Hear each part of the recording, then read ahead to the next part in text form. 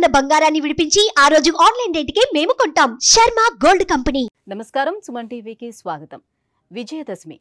చెడుపై విజయం సాధించిన ప్రతీకగా మనము విజయదశమిని జరుపుకుంటూ ఉంటాం. ఈ విజయదశమి రోజున అమ్మవారిని ఎలా ఆరాధించుకోవాలి? ఎటువంటి ఆచార వ్యవహారాలని పాటించాలి అనే విషయాన్ని తెలియజేసేందుకు మనతో పాటు ఉన్నారు ప్రముఖ ఆధ్యాత్మికవేత్త బ్రహ్మశ్రీ భమిడిపాటి రవికృష్ణ శర్మ గారు.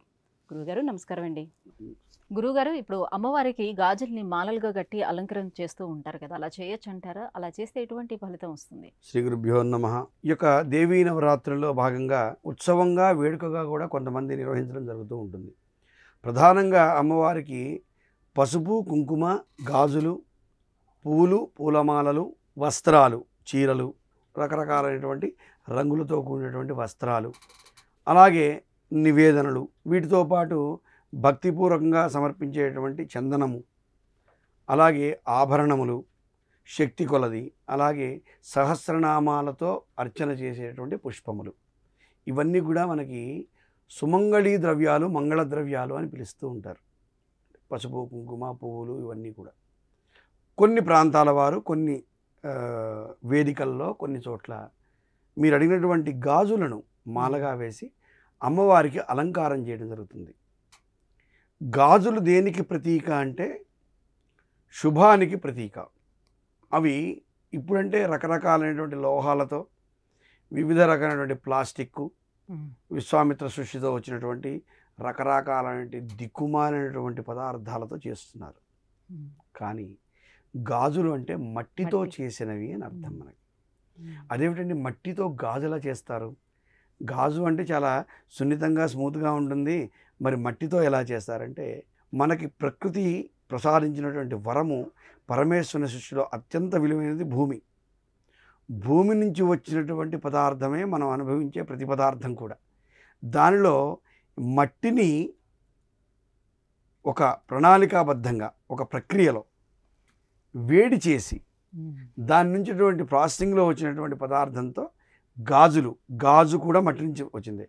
మీకు చాలా ప్రాంతాలు చూసుంటారు గులకరాళ్ళను ఉంటాయి గాజురాళ్ళను ఉంటాయి అలాగే షార్ప్గా ఉంటాయి తెల్లరాళ్ళను ఉంటాయి ఈ విధంగా రాయి కూడా భూమి నుంచి పుట్టింది. అటువంటి కొన్ని పదార్థాలని మిశ్రమంగా తీసుకొని గాజులను తయారు చేస్తారు. అమ్మవారికి ఈ గాజులంటే చాలా విశేషం. పట్టీలన్నా గాజులన్నా. ఎందుకు పట్టీలంటే అమ్మవారికి ఇష్టము అంటే తన పాదాలని ఆశ్రయించి తన పాదాలని ఆశ్రయించి ఎవరైతే భక్తితో పూజ చేస్తున్నారో మనం అమ్మవారిని ఎక్కడ చూస్తాం? ముఖం చూడలేము అమ్మవారిని. అలాగే బాహువులు చూడలేము. అలాగే నడుము చూడలేము. మోకాళ్ళు చూడలేము. ఎవరైనా పాదాక్రాంతులు అవ్వాల్సిందే. ఎక్కడ చూడాలి అంటే ఆవిడ పాదాలని చూడాలి. ఆ పాదాలకు ఉన్నటువంటి పట్టీలు మట్టెలు ఆ పారాణి ఆవిడ అలంకరించినటువంటి సామాగ్రిని చూడవలసిందే. అక్కడ మాత్రమే మనకి మోక్షం లభిస్తుంది. మీరు ముఖం చూస్తూ పూజ చేశారనుకోండి ఏమీ లభించదు. చేతులు చూస్తూ పూజించారనుకోండి ఏమీ లభించదు.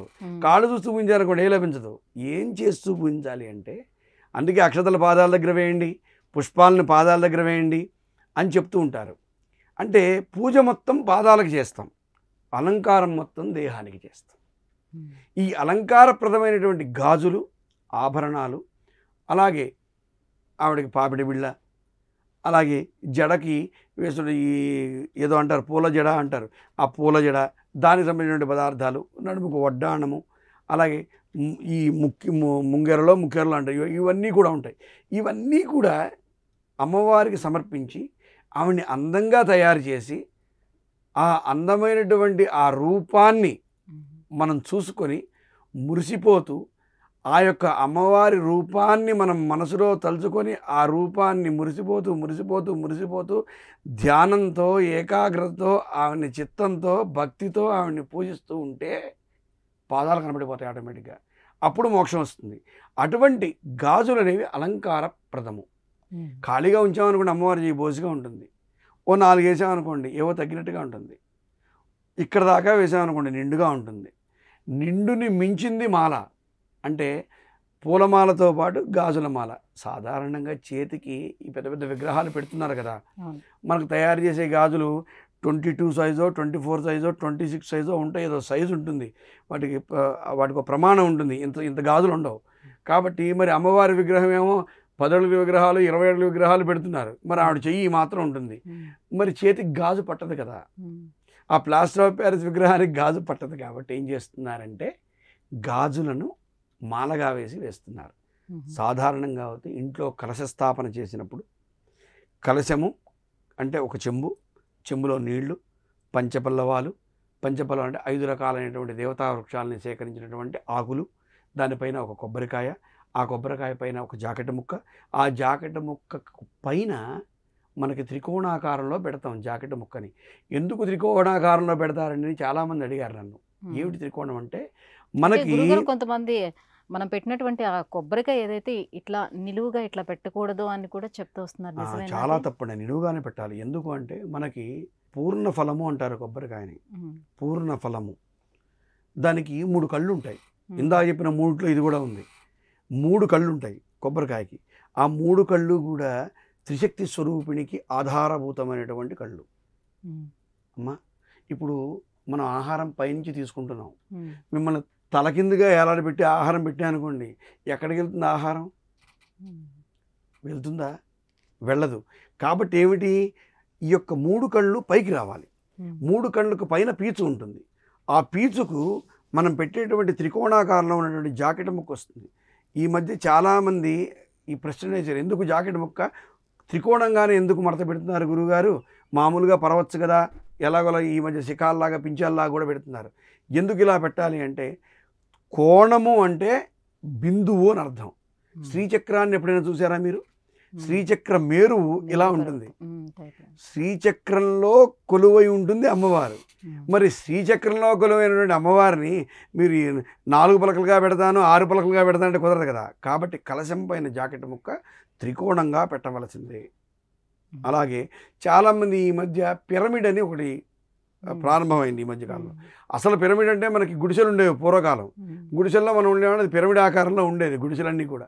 ఇప్పుడు గుడిసెలు పోయాయి కదా అన్ని బిల్డింగ్లు వచ్చాయి. కాబట్టి ఏం చేస్తున్నారు? ధ్యానం కోసం పిరమిడ్ కావాలని చెప్పి అమ్మవారి యొక్క శక్తి కేంద్రీకృతమైనటువంటి ఆ బిందువు కింద కూర్చొని ధ్యానం చేయాలని పిరమిడ్ లాగా పెడుతున్నారు ఇలా. సో ఇక్కడైనా అక్కడైనా ఈ కలశం మీద ఉన్నటువంటి జాకెట్ ముక్క ఏదైతే త్రికోణంలో ఉందో ఆ కోణానికి పైన గాజుల్ని పైనుంచి వరుసలో వేయాలి. వేస్తే సాక్షాత్తు అమ్మవారికి తొడిగినట్టుగా మనం భావించటం. కాబట్టి మీరు అనే ప్రశ్న గొప్ప ప్రశ్న.